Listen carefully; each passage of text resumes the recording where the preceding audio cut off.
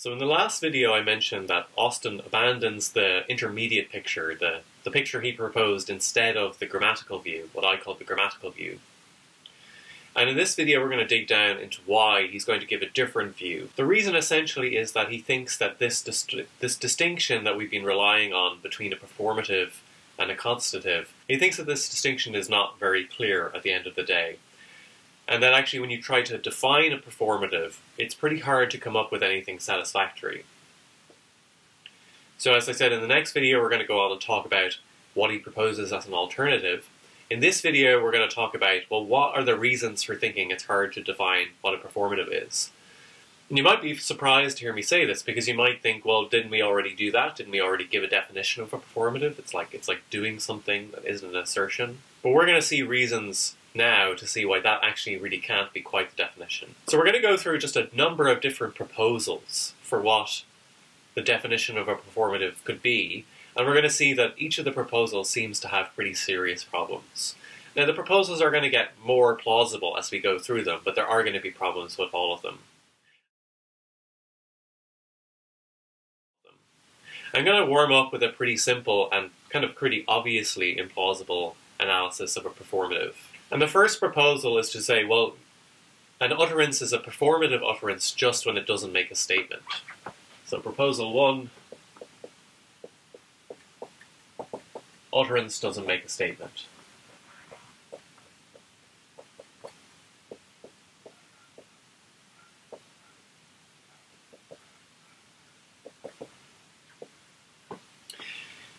But this overgeneralizes pretty quickly because it doesn't talk about anything about the grammatical form. So remember we said it's something very important about performatives is that they look like things that should make statements, but they don't. This doesn't say anything about that. It just says the utterance doesn't make a statement. But by this light then, interrogative sentences that we use to ask questions and imperative sentences that we use to make orders, they would also count as performatives. So imperatives and interrogatives would count as performatives. And they don't seem like they are. It's true that they don't make a statement, they do other things. You don't use a question to make a statement usually. But one of the distinguishing things about performatives is that they're supposed to look like things that do make a statement or do make an assertion. So this proposal can't be quite right. So as a different proposal might just take the problem with this one and build it into the definition. So our second proposal, proposal two, is going to be that a performative utterance is an utterance of a declarative sentence that does something other than assert a proposition. Utterance of a declarative that does not assert a proposition.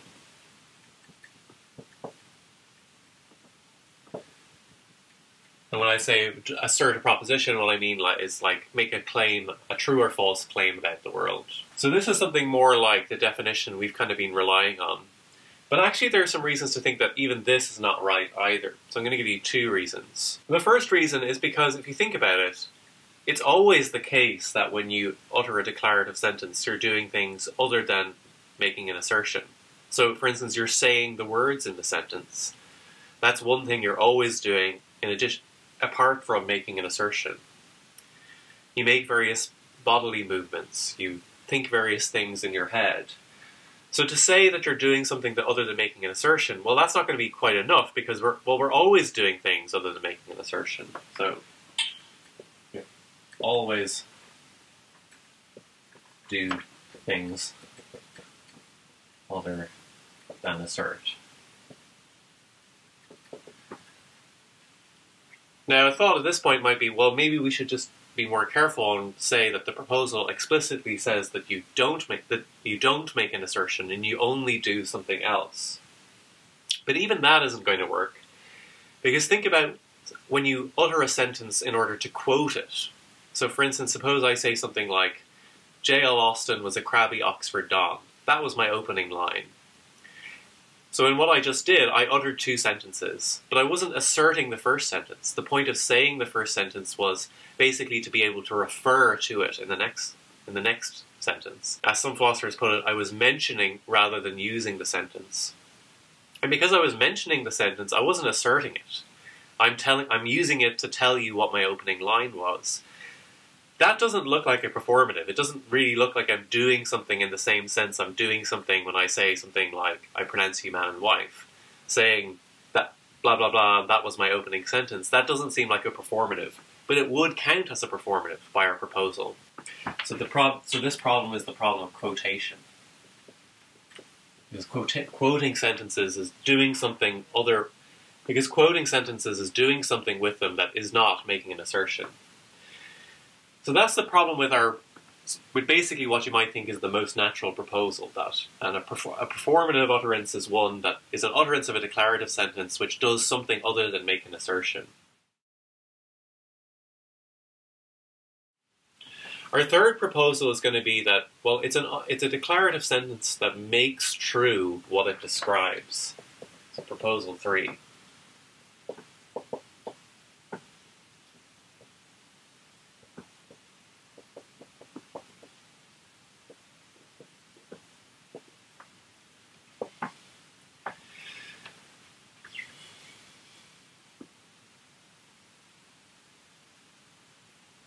And again, this this also initially seems plausible when we think about the way that we introduce performatives. We introduce them with the idea that like saying it makes it so. But again, there are a few problems here. So the most minor one I'll mention is that, well, as for reasons that we've already talked about, this can't really be Austin's definition. Now, he, he does sort of entertain it, but clearly it's not going to be satisfactory to him because Austin thinks that performatives aren't true or false.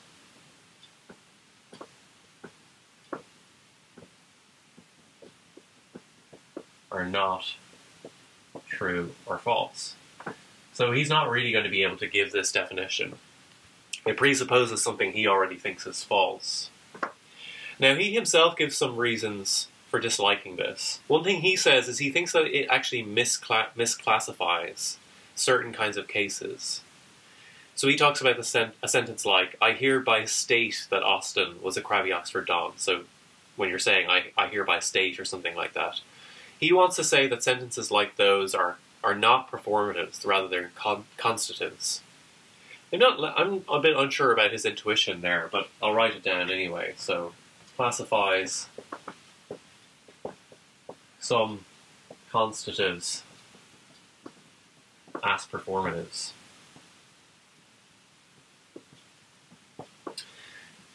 That case, the one he gives, I'm less sure about, but there is a much better version of this objection. So remember, the proposal is that a performative utterance is an utterance that makes true the thing it describes. But think about a sentence just like, I'm talking right now.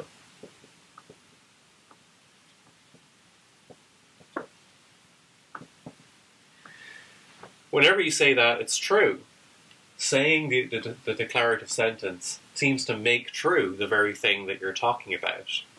But it seems like there's some kind of difference between a sentence like, I'm talking right now, and I hereby declare you man and wife. The sense in which I make you man and wife by, by uttering the sentence seems to be kind of different from the way in which you make this sentence true by saying it. You make this true in a very sort of boring way, just that, you know, it just couldn't be possible for you to be saying it and for, be, for it to be for it to be false. And that doesn't really seem to be exactly what Austin has in mind with the performatives. So sentences like these seem to be counterexamples to our third proposal, the proposal that you make true what you're describing. It seems like it has to be something stronger than that. The last proposal that we're going to consider today, although you should think about others if you can, is the one that Austin prefers, or at least it's the one he thinks is the best. I think, as we said, he doesn't actually think you really can give a good definition of performative. He thinks this is basically as close as you can get, but that there are problems with it. So let's consider what the fourth proposal is. So the fourth proposal is stated in terms of this idea of an explicit performative. Well, I'll say what that is in a moment. But I'll tell you what the proposal for is first. So the proposal is that your, an utterance is performative when the same effect could be achieved using an explicit performative. Uh, same effect achieved with an explicit performative. So what is an explicit performative? Well, the explicit performatives are the ones of the form like, I hereby do X by saying this. So I hereby pronounce you man and wife, or I hereby name this ship Boaty McBoatface, or I hereby promise you that P. These are all explicit performatives. Actually, we've been mostly focusing on ex examples of explicit performatives. But there are, other, there are also examples of implicit performatives. So if I say, I will be there in a particular tone to you, talking about your cello recital, that will be a promise to go to your cello recital. So why in saying I will be there am I making a performative utterance according to this proposal? Well, the, propo the reason I'm making a performative utterance is because the same effect could be achieved using an explicit performative. So if I made you a promise by saying I will be there, I could equally have I could equally well have made the promise by saying I promise you, or I hereby promise you that I will be there. I I hereby promise you is a little bit formal, but I could do it. I could make the promise by saying something in that formula. What about that proposal? Is that a good definition of performative? Well, again, there are actually two problems here. So one problem, if you thought, if you agreed with Austin, one problem was with the with the earlier example of the things that seemed to be constatives that he thought would be clarified as performatives. So a claim like I hereby state that J.L. Austin was a crabby Oxford Don. Austin seems to think, well, that really is making some kind of assertion, so we should describe it as a constative. It looks like it would be counted as a performative by this definition, because if I say, I hereby state that P, well, then trivially, the same effect could be stated with, an with, with something of the form, I, her I hereby state that P. Because that's just exactly what I did. Do, do, it's just the same thing as what I did. So the first problem is that I hereby state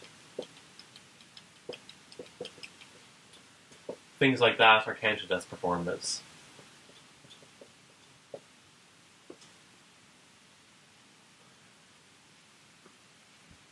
A second related objection is that there are other kinds of claim, there are other kinds of things with this formula that it's a bit iffy about whether they're performatives or not.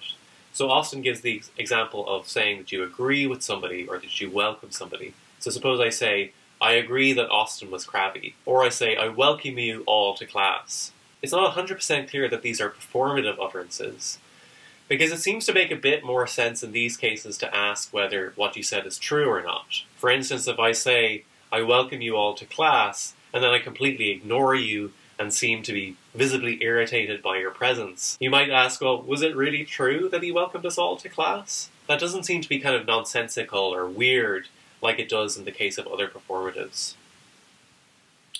It's even clearer with agree. If I say, I agree that Austin was crabby, or I hereby agree that Austin was crabby. And if that, if I say that, but I, I then go on to presuppose in conversation that he was really good-natured and a very fun guy, it seems like it was just false that I agreed that Austin was crabby. Like it's just something I said, but I didn't actually, I didn't, I didn't really mean it. So with examples like those, they seem to be of the right form. They seem to be of the form of a performative. You can say, I hereby agree that P, or I hereby welcome you. It's a little bit for formal, but you can say these things. But it's not clear that they share this property that Austin thought performatives had of not being clearly true or false. In certain cases, it seems to make a lot of sense to ask whether the thing was really true or false. So here the counterexamples are agree and welcome. So you can use the explicit performative formula with agree and welcome, but it's not totally clear that you actually get a performative as a result. The last thing I want to mention about this proposal, it's not something that Austin talks about, but an obvious worry is that you might think that the proposal is circular, because remember, what we're trying to do is we're trying to define what a performative is. But we've got this notion of an explicit performative. And you might think, well, what is an explicit performative other than just a performative? And in fact, this worry is made a little bit more severe by these kinds of counterexamples.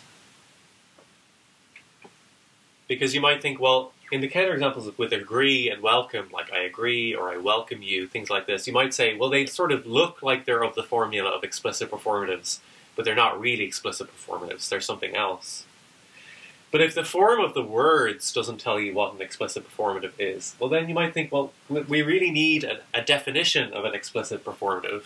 And, we, and if we don't have one, the proposal just isn't a non-circular definition of the of the idea we're trying to come up with in the first place.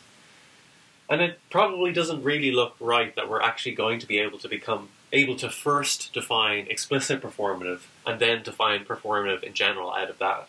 So because of these counterexamples, we can't just recognize what an explicit performative is on the basis of just a phrase. We can't define it as a specific kind of phrase. But then if we don't have a definition of this notion, the notion of an explicit performative, then it just looks like the analysis is not going to be explanatory in the right way, and probably it's actually going to be circular.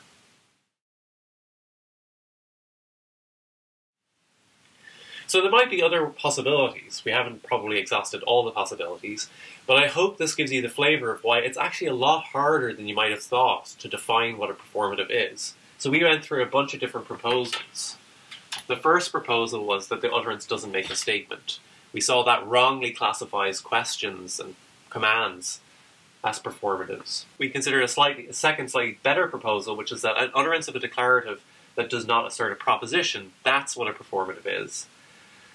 We saw there was the example of I hereby state, that's maybe a counterexample to this proposal, and the big problem it has is with quotation. It clearly misclassifies quotations of sentences as performatives, when they really clear, clearly seem to be not performatives. We then had a third proposal was that a performative utterance is one that makes true what it describes it's not immediately clear that this is something Austin can say because he's already committed to saying that performatives are not true or false. But even if you think he's wrong about that, that this proposal is still not going to be satisfactory. The main problem is sentences like "I'm talking right now" or "I'm saying something to you right now." Those don't clearly seem to be performatives. They seem to be the way in which they make themselves true is not quite the same way that performatives sort of make themselves true. If you're happy talking that way. So this proposal can't be quite right either. And then the final one was that was the one that Austin likes the most, which is that an utterance is a performative utterance if the same effect could be achieved with an explicit performative. And basically, we saw with that, it's just not really very clear in the first place what we should say an explicit performative is. You might think it's just something, it's just you, something is an explicit performative if you're saying what you're doing in a certain sense, like saying, I'm stating, I hereby state, or I hereby agree, or I hereby welcome. But when we looked at those cases, we saw it's actually not really clear that those particular cases really were examples of performatives. Now, you could say that those are not explicit performatives, they just look like explicit performatives. But then we need to be told what an explicit performative is, because if not, well, then the analysis isn't really very explanatory, and it might in fact be circular. And we should already be worried that it's circular, because it does seem to contain this notion of a performative in the definition when a performative is, was exactly what we were supposed to be defining in the first place. So those are the proposals we went through. I encourage you to think about more proposals for yourselves. Are there better ways of trying to define what a performative is? Now, I suspect you'll find it pretty difficult, but it's always worth going through the exercise, partly because it will help you get a better grip on what a performative is.